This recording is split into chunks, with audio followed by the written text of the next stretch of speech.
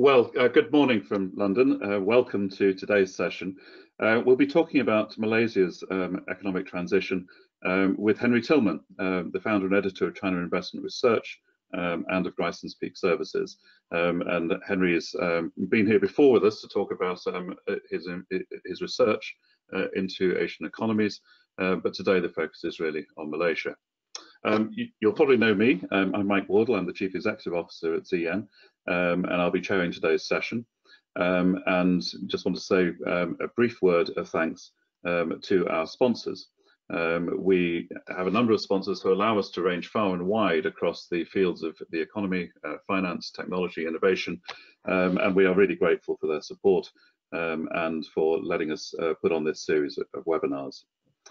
moving to today's session, uh, the program is um, there on the screen for you. Very much my role is to get out of the way um, quickly um, and allow uh, the session to move on to the keynote presentation from Henry. Um, but just a few housekeeping notes before we do that.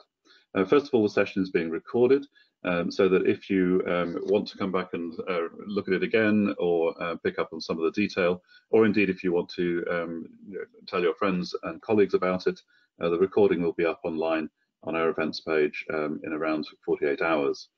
Um, secondly, there's a Q&A session um, after Henry's presentation. Um, if you haven't used GoToWebinar before, you can ask questions by going to the uh, questions tab on the dashboard. Uh, you'll see to the side of the screen, type your questions in and I'll be fielding those uh, to Henry during the Q&A session.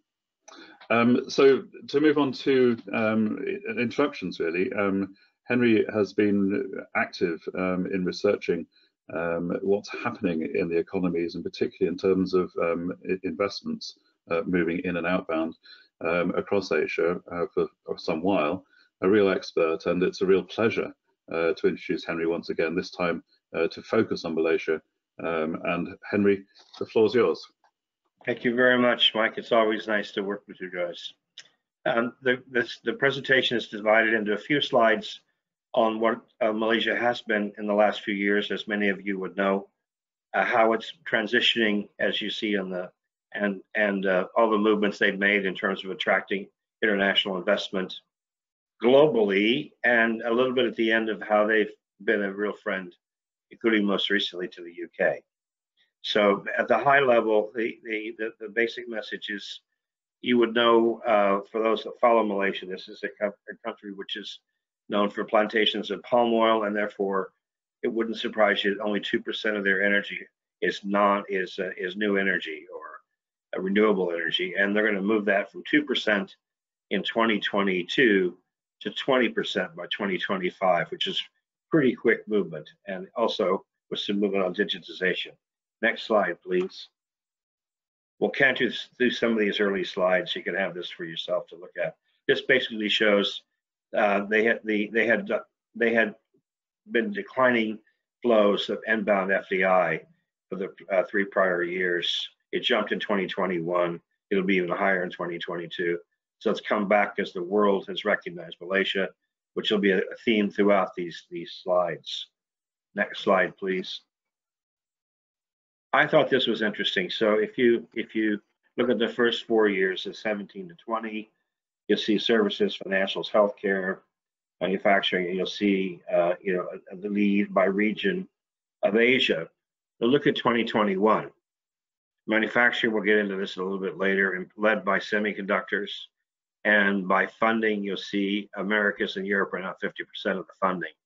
Um, and that was the case in 2018, but that's the only time it has been that case. So again, the theme throughout this is that world is discovering Malaysia, various different components of Malaysia, which they hadn't seen before. Next slide, please.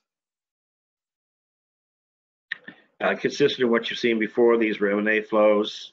Uh, the flows, it was uh, there was one major transaction in 2021, but the flows have come back very strong in 2021, 22, which you'll see in the next few pages. Next slide, please. Now we get to the history. So those of you that have followed Malaysia for a number of years and say you know, I'm sure you you know it so well, you'll look at the flows, plantations and real estate and domestic. You look at look throughout 2020, part of this is driven, as you would recognize, by the fact you couldn't travel around Asia during the time, so most of it's domestic. Although there was one one one thing new, I suppose, with Hong Kong bringing uh, an, educational uh, holding into uh, one international transaction. But again, most of this in 2020, real estate, local, property, and consumer, and really one financial financial. Merger. Again, domestic mergers were leading this. Next slide, please. 2021, 22, again, domestic, and you can see what's what's leading it, except for the telecoms merger, which is 12 billion. Uh, the rest of these, again, are financials uh, or real estate or palm oil. Again, this is the snapshot people think of when they think of uh, historically of of of, uh, of Malaysia. Now, so an investor in Malaysia would look at these are these are cash flow businesses these are non-growth businesses. These are low beta businesses, low for low beta investors, and therefore you can imagine what challenges are, are occurring in converting these uh, these type of investors that are used to certain things for many many years into growth economies and growth stocks and venture capital, which we come on to later in this in this document. Next slide, please. But in 2021, it starts opening up, right? Everybody will know this. There was a change of, of leadership in, in the spirit of time. There's a change of leadership this year. Um, and there was not much happening as you saw in 2020 before. But look at how this began to open up in, in, in 2021. We, we find this quite interesting. And again, you'll see it's Asia uh, investing, but you'll also see a bit of uh, Europe and you'll see the USA starting to become visible. And you'll see it's across across industries. So you'll see financial services is one of the first areas. So these insurance transactions were two of the biggest, represented the two of the largest insurers, passing control from Malaysian ownership to foreign ownership. These are very big deals, marketed globally, um, and um, won by very large companies. Then if you look at you look at technology, you see the drones, AI. Aerodyne's one of the four drone manufacturers, well, sorry, one of the four companies in the world that have LiDAR technology to monitor um, um, these large wind farms around the world. Aerodyne down the road will become a, a unicorn, which I'll talk about a bit later, again from an investment from Japan. Uh, India into fintech, Korea into fintech. I um, again, so it really was financial and sure Bitcoin you see there. Uh, again, financials were one of the first moves in 2021 and a little bit of focus on, on the new energy. Next slide, please.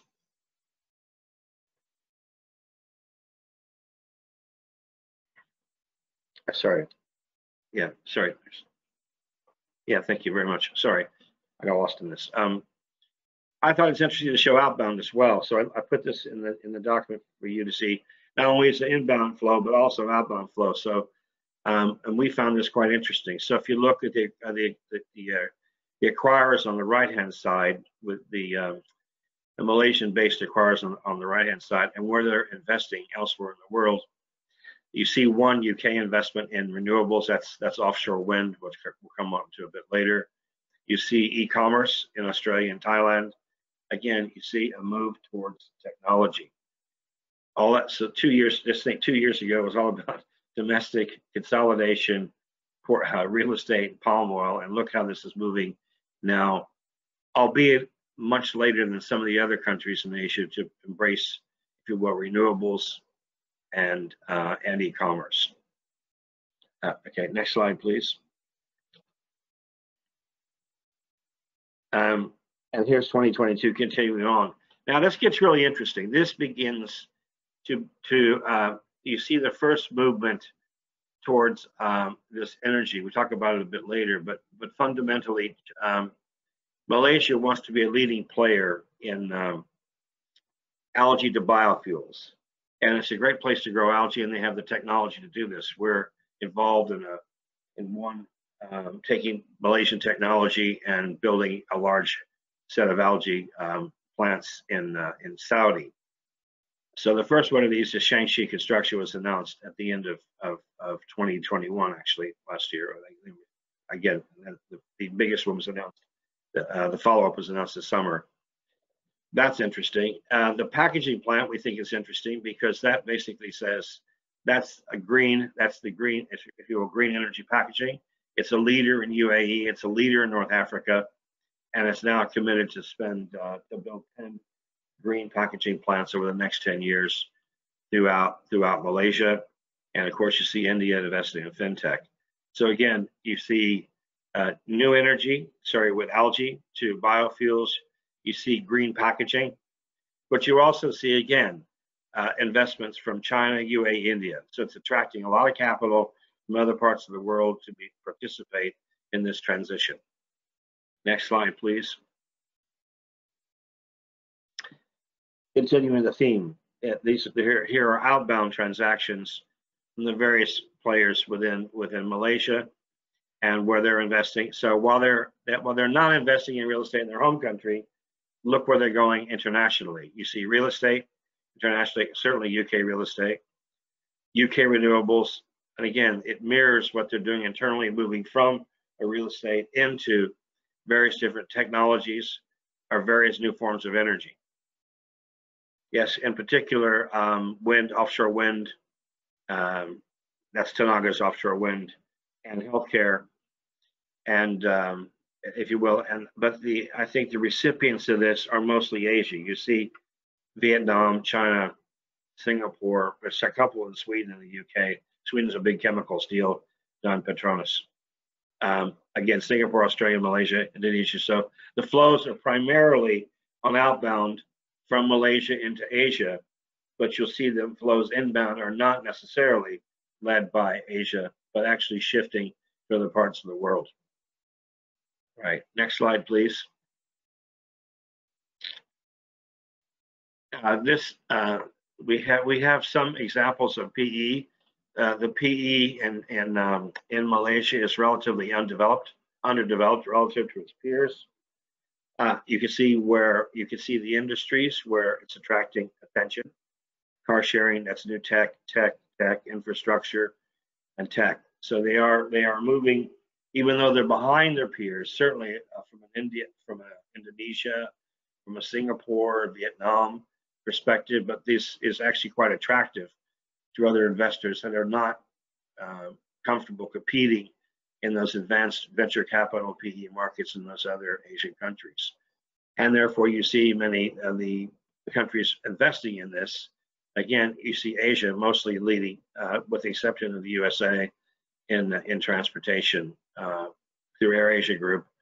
Uh, but the rest of these are all uh, Asia plays, including Taiwan. And I think the other thing I want to highlight here is is basically there was a perception that China really dominated the um, the internal flows into into Malaysia probably through 2018 2019 China's done, sorry Malaysia's done a fantastic job just like we saw in Bangladesh of balancing inbound flows from various continents of the world uh, and look and, and ma managing those inbound flows but again to highlight again on this page what you saw on the previous page ADIA from UAE uh, we're seeing another trend we're seeing here we saw before with pack on the last page that in the past year we've seen the UAE, both UAE, uh, the Gulf, both UAE and Saudi become uh, very active investors across this region.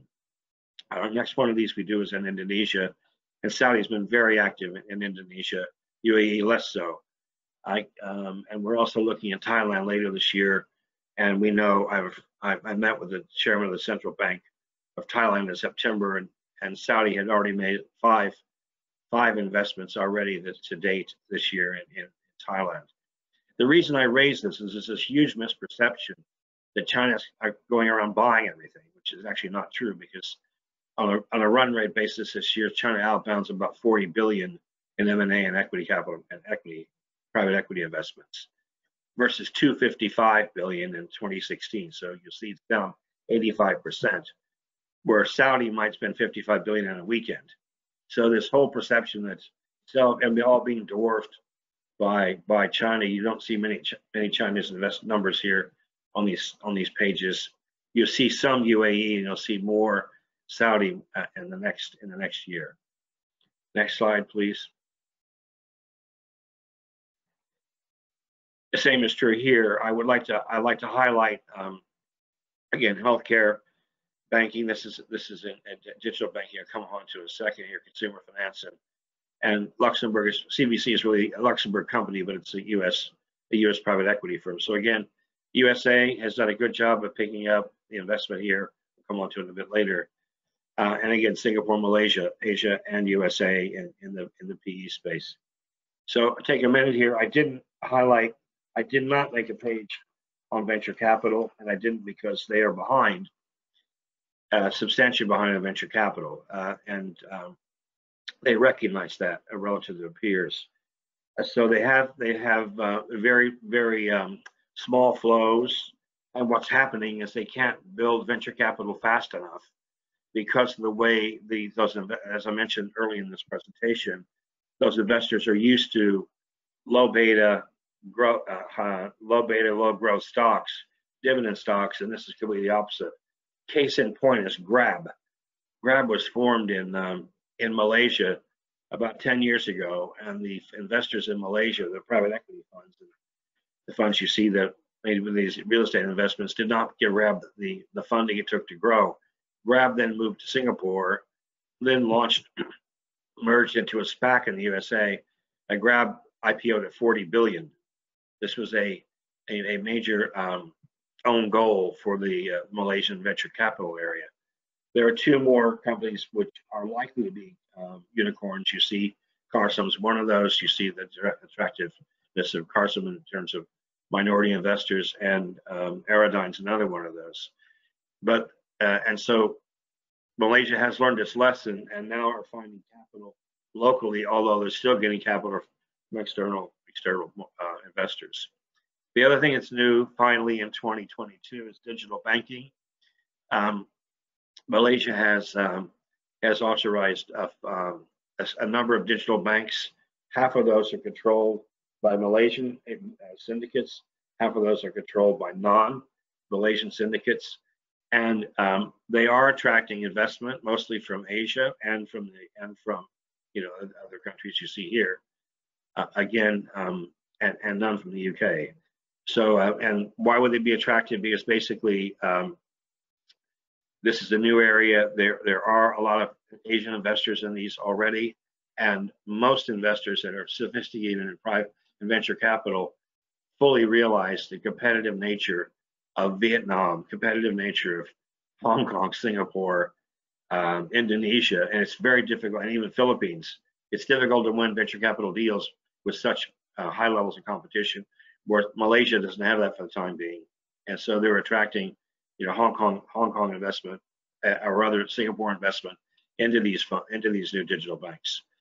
Just uh, as, and this is a this is a change because basically there's been very little fintech and very little movement among the big uh, Malaysian banks. They haven't really given up any market share, and and to date, not many people will take them. There was a series of small joint ventures with China and others and the big banks, but they've they've made no real impact.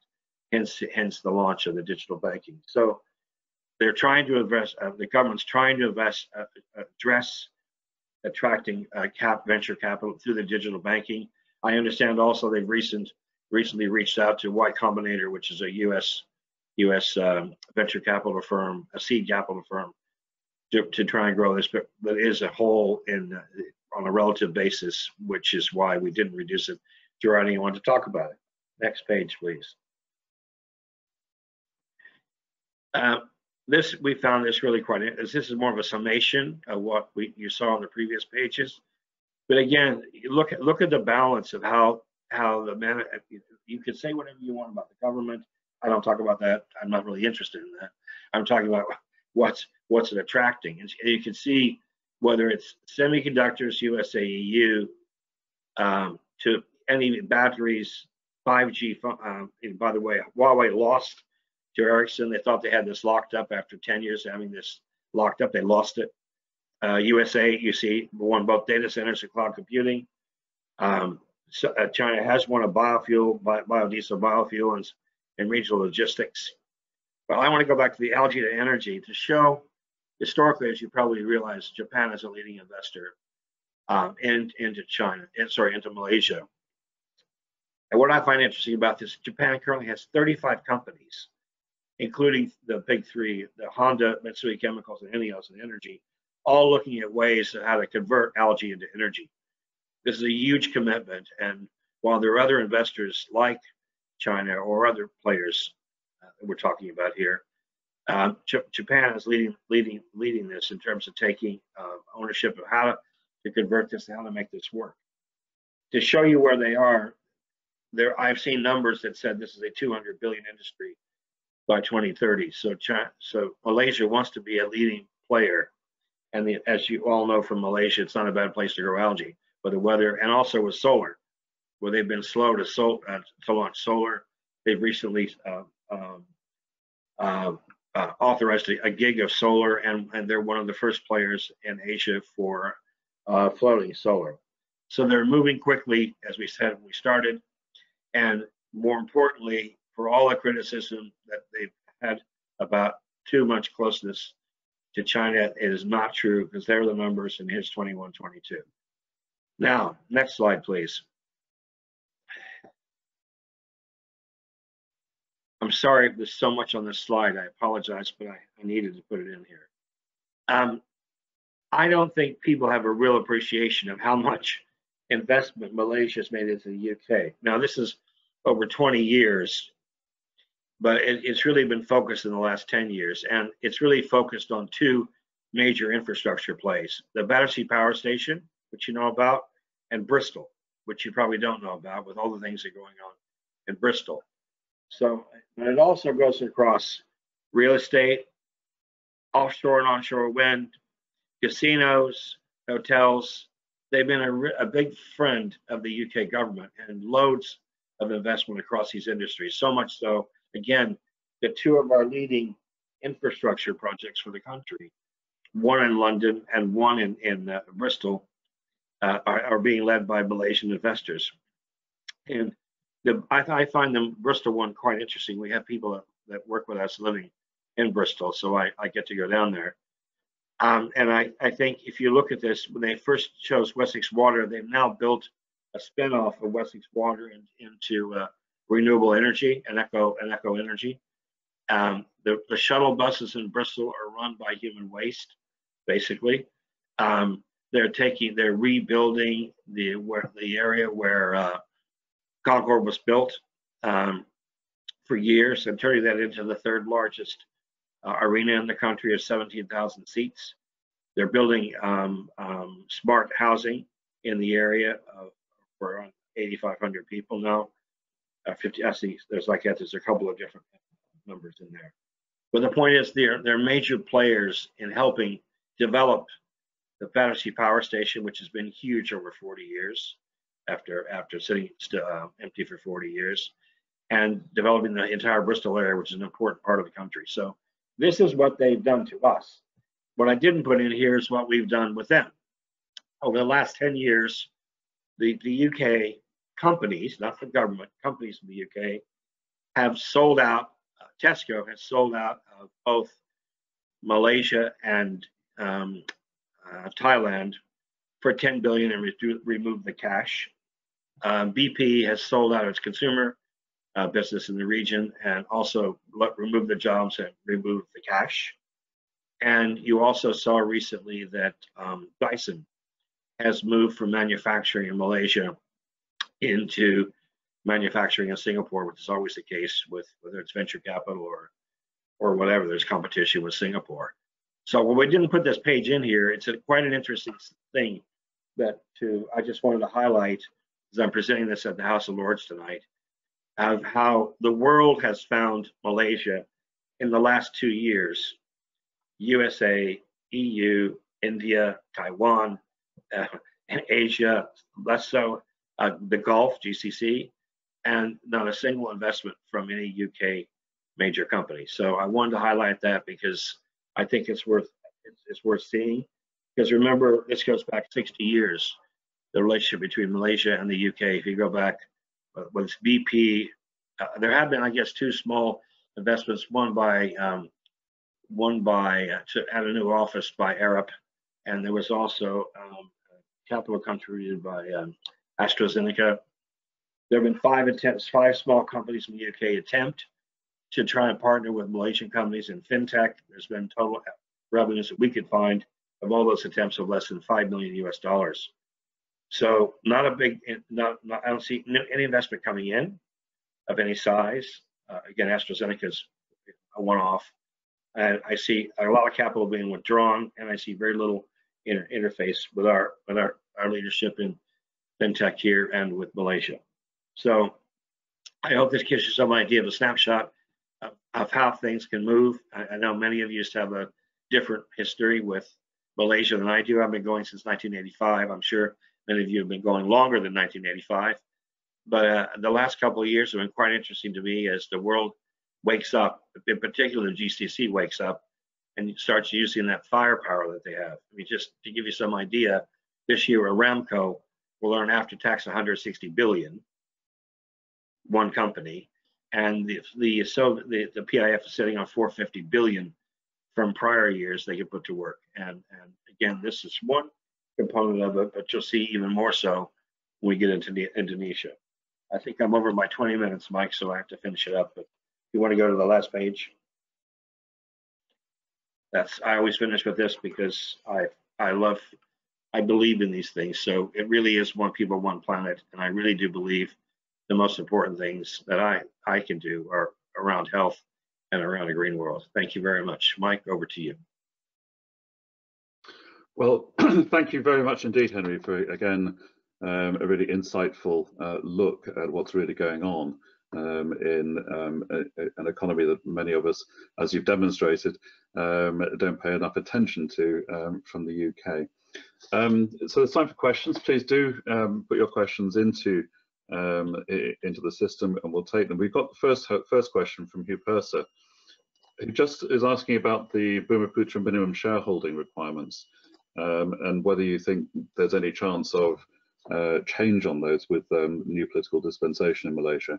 Uh, for those of you who don't know, this is a kind of minimum shareholding requirement for a particular um, part of the population, um, where um, they're, each company has to have a minimum shareholding uh, drawn from that sector of the population.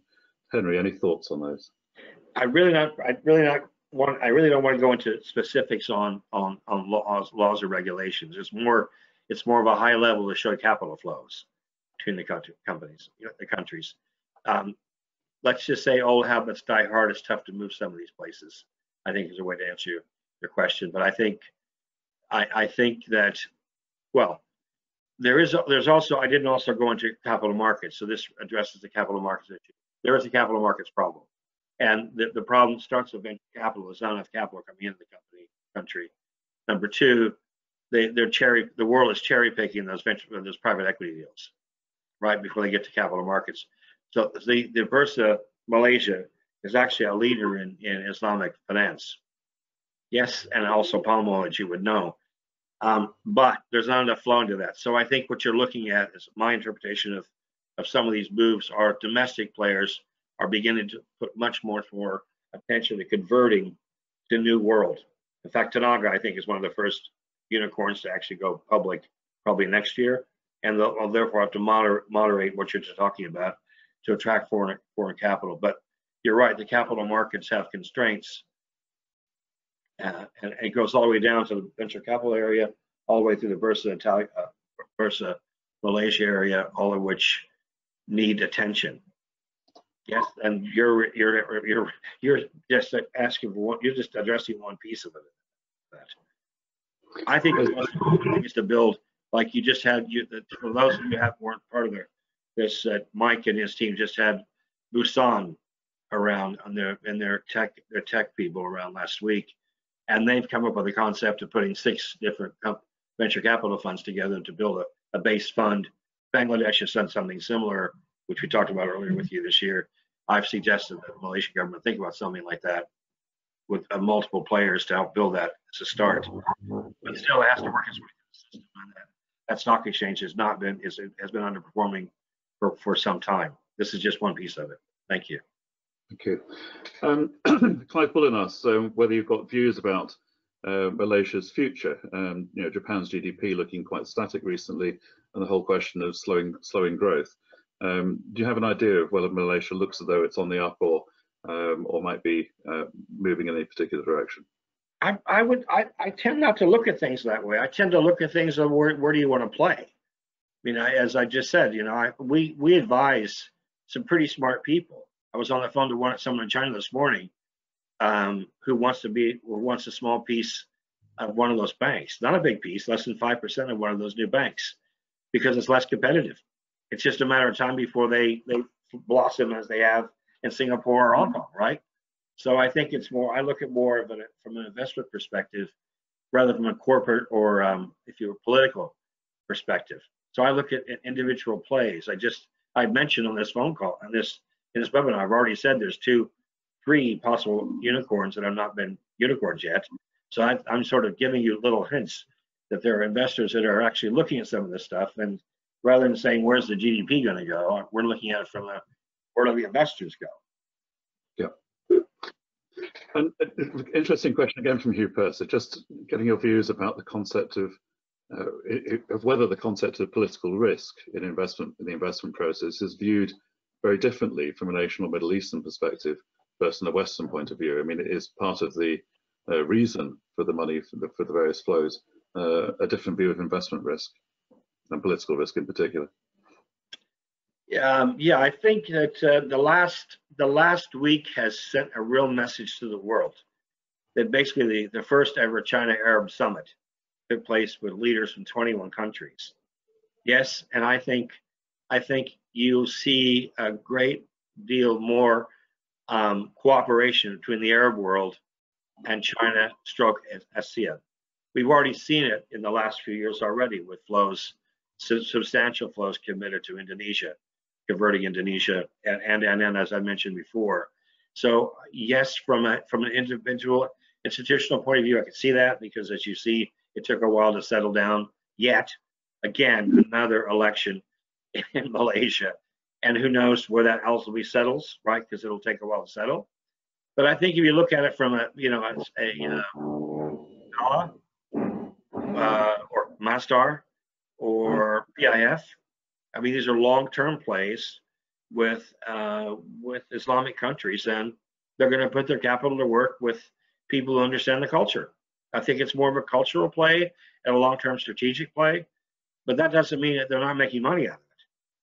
Yes, yeah, I think that you know I, I don't see them doing anything stupid. I mean, if anyone has on this, so if anyone has not worked with PIF yet, I suggest you learn how difficult it is to get something done in Saudi with PIF before you make a decision that they're not serious about making money on this stuff.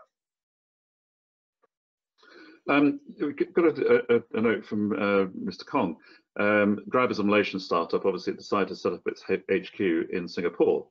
Um, do, do, you have a view as to whether you know, Singapore is a better place to invest um, than Malaysia, or you know, what are the factors it's, that, it's, that determine It's very competitive. I mean, Singapore is very competitive, right? it's it's heavily it's overbanked, overinvested. I mean, there's there's a lot of competition, and I tend to I tend to avoid where where there's you know and I do think that longer we haven't talked longer term. This is all you know. I've designed this to be quite granular, 21, 22, maybe 23. I mean, longer term, a longer term, uh, they have agreed finally after recutting it three times that railway but Both Coast Railway that goes all the way up to Kunming. That's been agreed. And I think finally I've heard that there's a railway connecting finally uh, uh, Malaysia with Singapore, which has been discussed for at least two decades, right? So longer term, I think there's a real play anywhere logistics play all along that railway, all along, all along, all along the ASEAN area, which is why Alibaba took that bet on logistics with the Malaysian Air they, they chose Malaysia as a long-term logistics hub. So there's so many different ways to play this, but I tend to look at it of how this architecture gets built out. Yes, and how it all gets. It's taking years to get settled, but it won't be long. 23, 24 before your four hours between Kunming and Bangkok. And by 27, 28, you're 10 hours between Kunming and KL. and that's not very long from KL to Singapore, right? So it depends on your holding structure. I mean, uh, when do you want to play? How short do you want to play? I mean, Singapore also isn't a you know isn't a panacea. Singapore came up with this uh, this way, they're going to jump the queue with with SPACs with uh, with Hong Kong. That lasted about two months. It didn't really work. So so there's no no such thing as a given in Singapore. Although Singapore is a huge, and that's why I just made the point about Grab. Poor Grab that was built for Malaysia that, built you know a, a five million company suddenly it's 40 billion, and uh, that was funded really through through the Singapore government and their and their links around other, the Asia investment, the, the, global investment community. Again, I I tend to look. I'd like to. There's an old phrase, "Hit them where they ain't." I, I kind of like that, not where they are. Um, just a question from uh, Sifun Hu um, about how prospective investors might view, you know, the political position um, in Malaysia. Um, there is some evidence of growing racial and religious divides, um, and whether that has an impact on you know, investment flows. Well, it's a good question uh, because I think be, what's being asked is either either retail or institutional. What I'm talking about is global players, which are basically saying with all those flows, if you look at 2020 or you look at 2018, 17, 18, 19, 2021, you don't see those global flows. In the last two years, including this year, post-election, it's still flowing at, at, the, at the rates it's seen the last 18 months. So obviously there are bigger things here. I'm not sure many people in this country really pay attention to how the world has moved by by the GCC players and how they want to use that capital, which they consider to be cultures which are like theirs. I just think people are still looking at this from a Western lens, which is fine, but the world has moved in my opinion. Thank you, for, thank you for all of that. Um, and I guess I, am presuming that this move, um, you know, in terms of the sectors where investment is taking place, you, you think is is is now the trend um, that you know tech and you know, moving into renewable energy and so on is is going to continue to be the trend for investment. Uh, yes, I I think the play if I'm a, if I'm an institutional investor, I get close to Tenaga or any of those those old line um, energy firms, which realize they have to convert, and they're going to start using that Bursa Malaysia. They're going to bring they're going to bring that that uh, Bursa Malaysia to life. So there's an institutional play in there, a bit early, but there's an institutional play in there in the next couple of years. Yes, being driven by outside forces, because you see, uh, Tenaga has also been an investor in UK offshore onshore, as well as local. You've seen it YTL even here is building using Wessex Water to build an echo play. So, I mean, good news travels quickly, Mike. A lot of people understand how there's a lot of money pouring into the, uh, you know, here we just announced, uh, Masdar just announced the, the largest investment in UK um, uh, energy storage from the UAE, not from China. Yes. So, and, and yes, so I, I see people how, how they make these moves where they can see this coming and it's being driven really by by energy and also digitization or semiconductors. I mean, Intel wouldn't spend eight billion in Malaysia if they weren't serious about it. Yeah, and and you know, last year we did a piece of work with Labuan International Business Finance Center on you know, the role of digital finance in uh, opening up the Malaysian economy um, and particularly reaching you know, unbanked and unserviced parts of the population. So you know, they are very serious about um, you know, digitalization across sectors, but including fintech and um, you know, and insure, insurance um, as a way of developing uh, their financial systems more generally. They were one of the first to. They were one of the first to do, as you know, the blockchain for a stock exchange, and they are now known as a world leader in captives for the insurance world.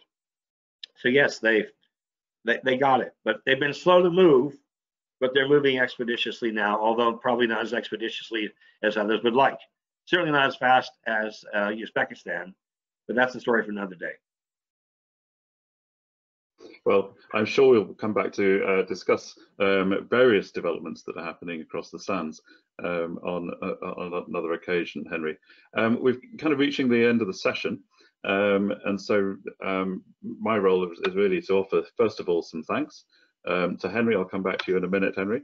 Um, to our sponsors, uh, who I mentioned before, we really are grateful for their support, which enables us to um, to run a series of events which uh, continue to offer uh, new insights into um, what's going on across the world.